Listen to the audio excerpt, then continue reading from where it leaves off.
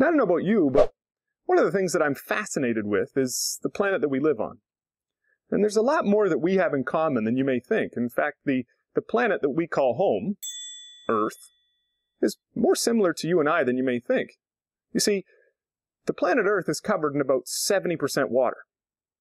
And we are made up of about 70% water. So given that our body is 70% water, it's a pretty reasonable assumption that the two elements that make up most of our body are hydrogen and oxygen. And while oxygen is number one, hydrogen is not number two. Any guesses on the second most prevalent element? Yeah, carbon.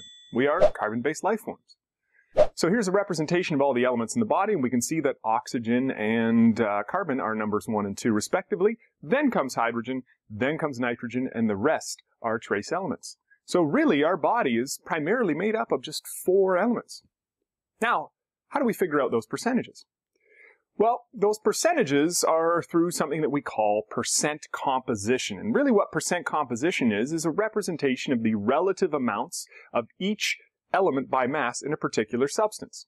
So in our case, if we're trying to figure out the percentage by mass of oxygen or carbon or hydrogen, we're, we're comparing that to the overall mass of our body.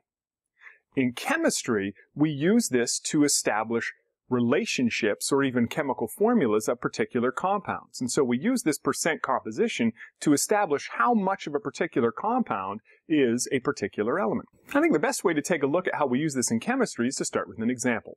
So let's take a look at sodium carbonate.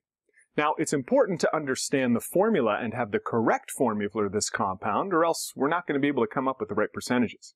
So knowing our formula for sodium carbonate, we can then take the molar masses of each of the individual components and then use them to figure out the molar mass of the entire compound.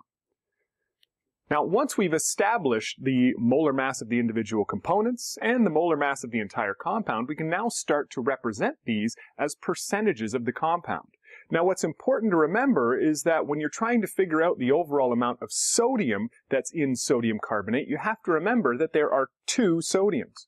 So in order to establish the overall mass of sodium in there, we have to do two times the molar mass of the sodium and compare it to the overall mass of sodium carbonate. When we're comparing carbon, there's only one carbon, so we only need to establish the mass of one carbon as compared to the mass of the sodium carbonate.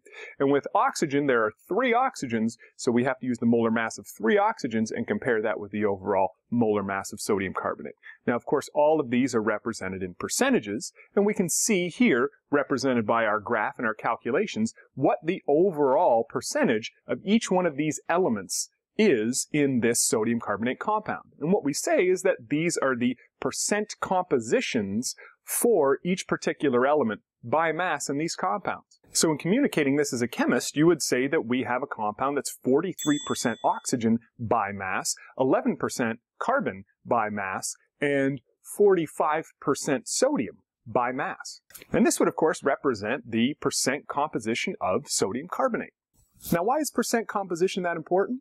Well, it allows us to do a couple of things. One, it allows us to establish what's called the empirical and molecular formula of an unknown compound, which is something I'm going to cover in one of the next vlogcasts.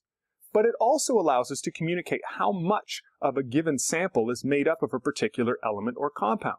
So for example, if we wanted to communicate the purity of a particular substance or the amount of a particular substance contained within a sample, or if we wanted to talk about the amount of, say, carbon dioxide built up in a confined sample of air.